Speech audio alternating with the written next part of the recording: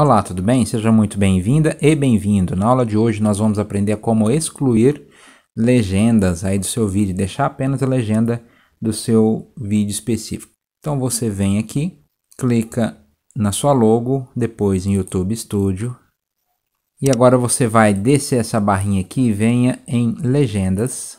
Eu vou vir aqui, está vendo nos idiomas? Você tem vários idiomas, pode ter vários idiomas aí no seu no seu vídeo eu costumo deixar apenas o português Brasil. Então aqui é o português que ele costuma colocar, o automático do YouTube também. E aí você clica nesses três pontinhos, eu vou deixar apenas o português Brasil. Vou vir aqui em português e, e vou excluir. Primeiramente você vai observar o idioma que você quer esteja publicado. Você vai excluir. É sempre importante fazer o download antes de excluir o, o idioma. Estou deixando os cards aí em cima, explicando como que, que edita, como que insere a legenda e tudo mais. Clica nos três pontinhos aqui e excluir também. Então você excluiu a legenda e você deixou apenas a que o seu vídeo se refere, ok?